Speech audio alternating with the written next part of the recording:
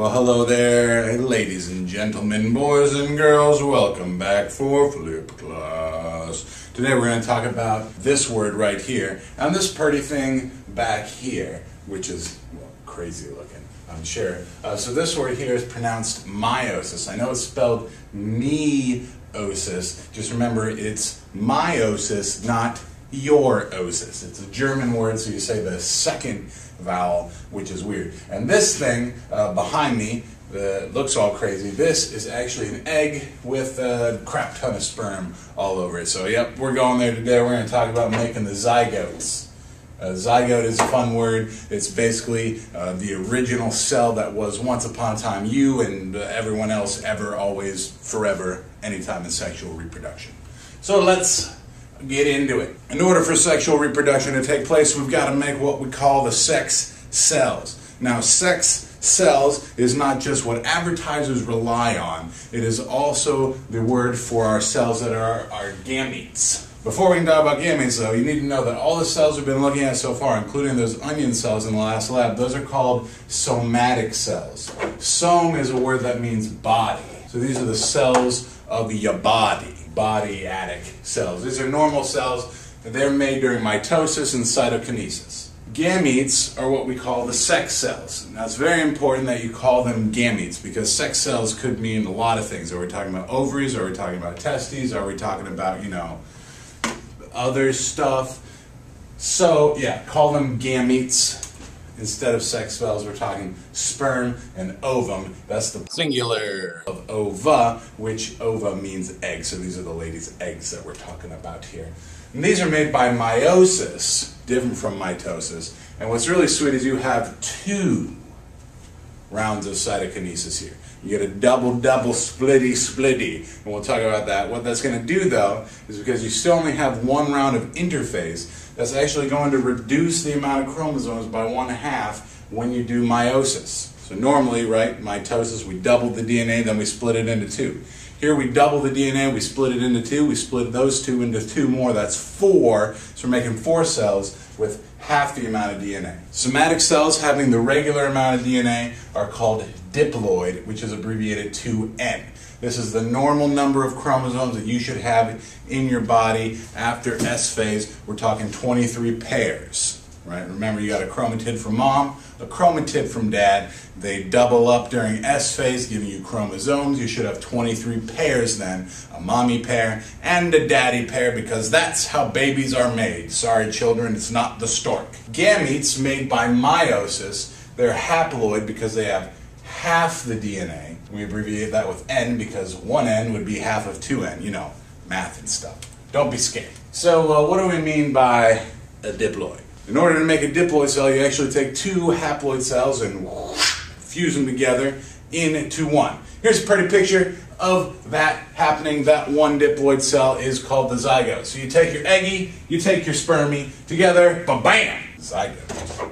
Now keep in mind, you can see it right here, they're showing you just one chromatid. Remember, you've got 23 here and you'd have 23 here, but they, you know, they pair up. So you got the chromatid A, chromatid A from the sperm, and then they are A and A all hanging out together. They will make, during the S phase, a whole nother one to go with it from mommy and a whole nother one to go with it from daddy and make your fun time chromosomes joined at the centromere. The zygote to throw back to the old unit, that is actually a stem cell as well. So it's going to divide, differentiate, divide, differentiate for on and on and on and on and on. This is the ultimate of stem cells. This can turn into any, any, any, any, anything. I'm not just talking pluripotent. This is the stem cell of all stem cells.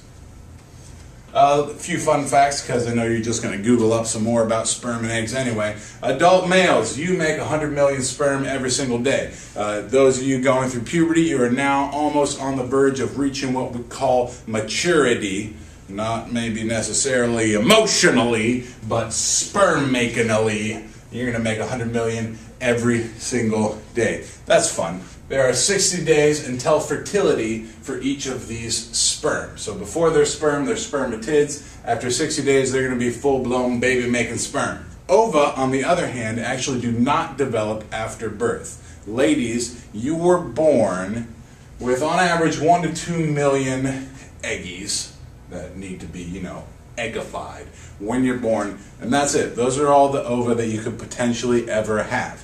About 300,000 are left when you start losing them, so you know the number is even lower because not all of these actually turn into eggs. For more on that, uh, just Google up oogenesis, which is a you know, very complex process that we're not going to talk about. And uh, only 400 really are ever released in your lifetime, so yeah, you, are working with a lot less genetic material for the offspring than, uh, than the boys are, which is kind of unfortunate. So let's talk about meiosis. Meiosis again, you've got uh, your regular cells, they divide, they make the haploid cells, the haploid cells come together, ba bam, making the zygote. That right there is sexual reproduction, right? And that's how you are a blending of the all the things from your mom and all the things from your dad.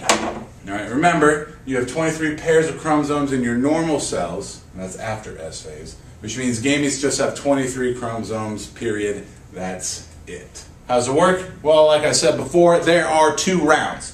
So the chromosomes, they get copied during S phase of interphase, just like there were before. Then you do two rounds of meiosis with no second interphase in between. It goes interphase, divide, divide. As a result, the chromosomes line up as tetrads at first, and in round two, after cytokinesis, twice you would have four cells so remember, this is different. Tetrads, when they're lining up, they're always lining up in tetrads in meiosis, at least the first round of meiosis. Remember, in uh, mitosis, I told you it was important that they go single file. Meiosis, pay attention to how they line up. How do they know where to line up? Well, every single one of your chromosomes are at different sizes. So this is your first pair, second, third, fourth, so on and so forth. So they're going to line up together in what we call homologous pairs would be both the ones, both the twos, both the threes, both the fours, both the fives, and so on and so forth once they're getting all chromosomy. So let's get into the phases. There is a prophase. One, because there's two rounds. Don't forget, we do do interphase but first. The homologous pairs, those are these things over here. The homologous pairs, they get all paired up together. And this weird process called crossing over may or may not take place. It says here takes place. It doesn't always take place. You can actually predict for every, you know, a thousand times that prophase one happens, you can predict with a certain accuracy how many times crossing over will happen. So it's sort of a random occurrence. And like before, the spindle fibers are getting ready to spindle fiber. Crossing over is kind of a fun process. Uh, it happens relatively often. In this process, homologous chromosomes actually swap DNA with each other. That results in what we call genetic recombination. It takes traits that were all from your mom, mixes them with some of the traits that were from your dad. And so it can actually link or unlink different traits based on if it came from your mom or your dad. And what that does is it increases genetic variability. We're going to talk a lot in the next coming months for pretty much the, almost the rest of the year about why genetic variability is important. Remember, we looked at in populations, right? If you don't have a good diversity within the species, creates like a bottleneck, it's harder for that group to survive. Well, here we're going to do some genetic variability. This is one of the other reasons why no two people are alike. Because not only are you unique combinations of your parents' different genes, but we're also, in prophase one, flipping up and mixing the genes a little bit more. Now here's how I like to think about it. So you got the daddy and the mommy chromosomes. That's a homologous pair. Let's say it's chromosome number two. So here's chromosome two from your dad, chromosome two from your mom. They get all up on each other, as you can see right in this area here, and they start playing footsie because the love that your parents had for each other didn't just stop with them and went down to genetic level. That's not really true, but it helps me remember it. And but they're playing footsies, and they played footsies so aggressively that they switched socks with each other, uh, which would be a pretty impressive feat that would take probably a while. But that's uh, essentially how it works. Playing footsies, switches the socks, now we've got a little bit of the mommy on the daddy chromosome and a little bit of the daddy on the mommy chromosome. After that, you have metaphase a 1. In metaphase 1, your homologous pairs, they form what we call tetrads because there'd be four chromatids total over the two homologous pairs.